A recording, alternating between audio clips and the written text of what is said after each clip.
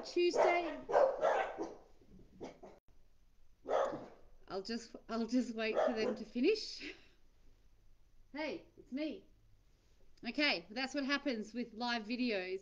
Um, we are still talking today and next week about uh, motivating women um, and how that might differ or how their environments might differ for the female brain to the male brain. And today, my tip is to understand anxiety from a female perspective.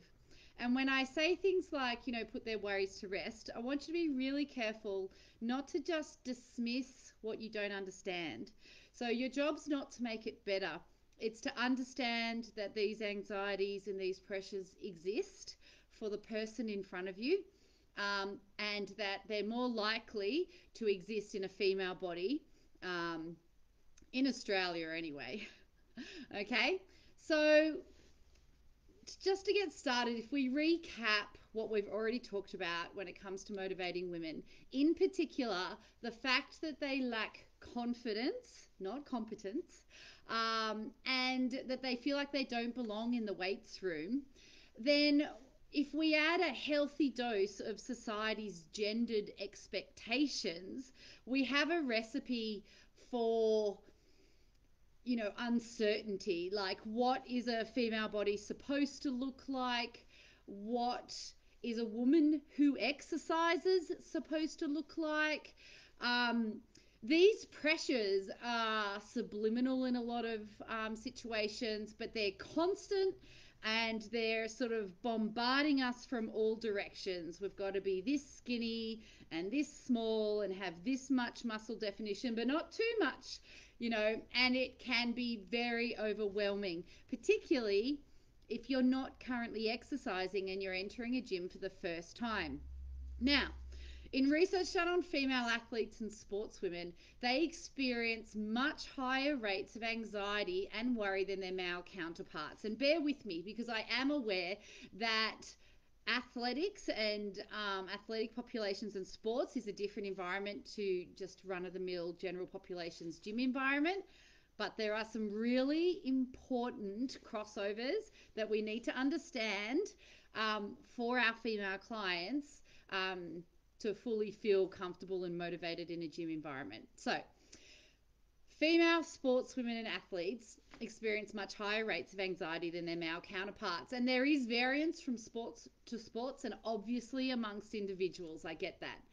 Um, but if you're trying to motivate a female client to do weights in a gym environment, it's useful to understand that they're more likely to experience these anxieties that we're going to discuss than your male clients. So you have to overcome these are barriers to exercise that you need to overcome um, to, to help them feel motivated, to make them want to be there. Okay? Now, you got to put their anxieties, you got to address them. You can't just dismiss them because they're stupid in your opinion. Okay? Because they're not in your client's opinion and it's their opinions that are acting as barriers for exercise. Now, in the case of female athletes, gender expectations contribute significantly to their anxieties, um, and it does impact performance, okay? The influence of gender expectations is almost always negative for women, okay? They include weight pressures, um, body dissatisfaction, disordered eating. Um, the coach athlete relationship and behaviors can impact their performance. And guess what? You're the coach all right. You're the coach and your client is the athlete.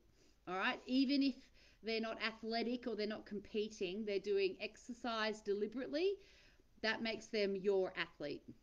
Now, as I said, sport is not quite the same as the gym. We can acknowledge, though, how many of those anxieties in athletics and sports environments overlap with the kind of messaging we're seeing and we're personally selling in the fitness environment.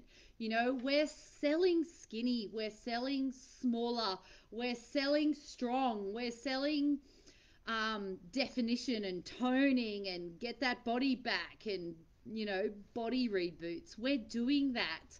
And we are therefore contributing to the anxieties that women feel um, when it comes to embarking on a gym journey, particularly in a weights room, particularly if they don't understand why they belong, and usually in a negative way. Okay? So, if you're serious about motivating women to exercise, you need to throw out that messaging. Uh, it's driving that anxiety, even in our elite athletes. Okay, they don't feel right because our expectations are unrealistic.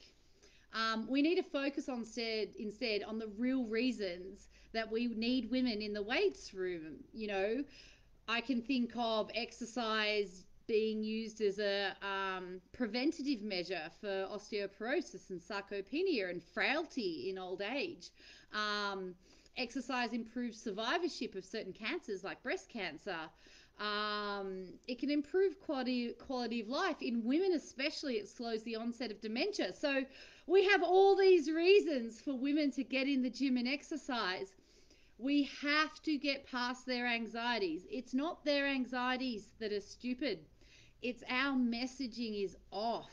It's off, way off. So let's do that together. As always, I welcome your feedback. We got one more installment next week. Uh, any questions, uh, direct message me. Otherwise, I'll talk to you then.